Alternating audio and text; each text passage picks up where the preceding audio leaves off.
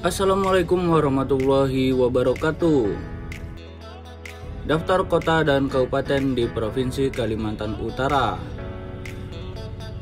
Kalimantan Utara atau yang disingkat dengan Kaltara adalah sebuah provinsi di Indonesia yang terletak di bagian utara Pulau Kalimantan, Indonesia.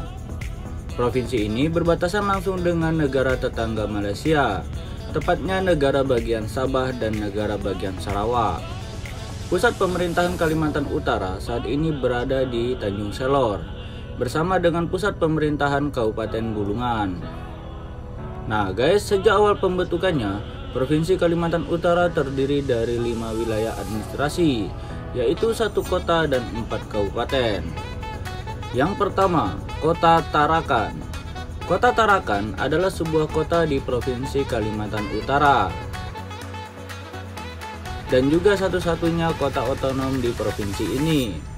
Luas wilayah kota Tarakan adalah 657,33 km persegi dengan daratan seluas 250,80 km persegi dan lautan seluas 406,53 km persegi.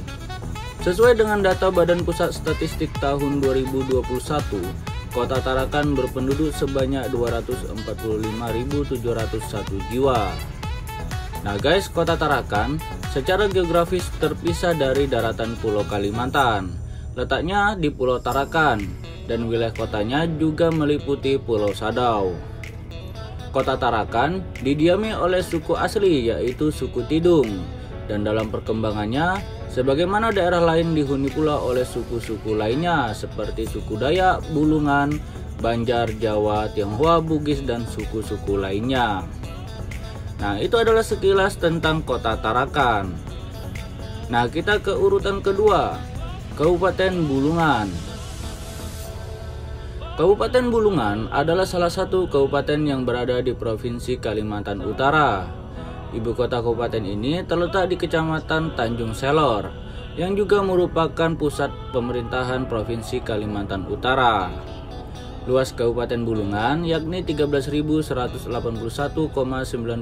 km persegi, terdiri dari 10 kecamatan, 7 kelurahan, dan 74 desa. Jumlah penduduk Kabupaten Bulungan pada tahun 2021 sebanyak 156.019 jiwa dengan kepadatan penduduk 12 jiwa per kilometer persegi. Nah, itu adalah sekilas tentang Kabupaten Bulungan. Kita ke urutan yang ketiga. Kabupaten Malinau. Kabupaten Malinau adalah salah satu kabupaten di Provinsi Kalimantan Utara Ibu kota kabupaten ini terletak di Kecamatan Malinau Kota. Seluruh wilayah Kabupaten Malinau merupakan daratan dengan luas mencapai 38.973,56 km persegi yang terbagi menjadi 15 kecamatan dan 109 desa. Jumlah penduduknya adalah 83.796 jiwa dengan kepadatan penduduk 2 jiwa per kilometer persegi. Nah guys itu adalah sekilas tentang Kabupaten Malinau Nah kita ke urutan yang keempat Kabupaten Nunukan Kabupaten Nunukan adalah sebuah kabupaten di Provinsi Kalimantan Utara Kabupaten ini merupakan wilayah paling utara dari Provinsi Kalimantan Utara. Ibu kota kabupaten terletak di Kecamatan Nunukan.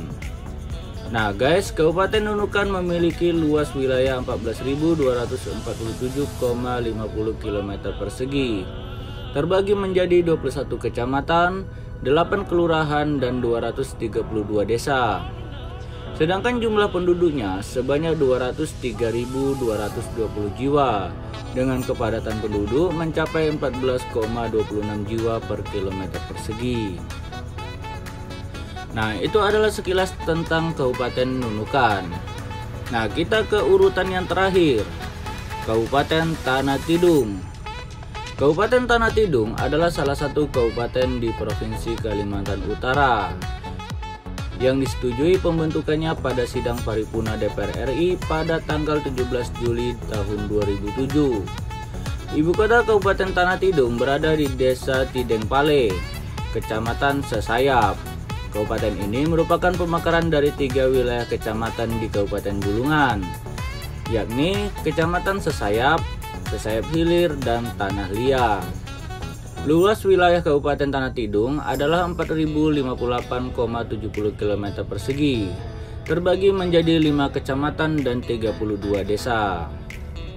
Nah guys, menurut data BPS tahun 2021, jumlah penduduk Kabupaten Tanah Tidung tercatat sebesar 26.447 jiwa dengan kepadatan penduduk mencapai 6 jiwa per kilometer persegi. Nah guys, itu adalah daftar kota dan kabupaten di Provinsi Kalimantan Utara.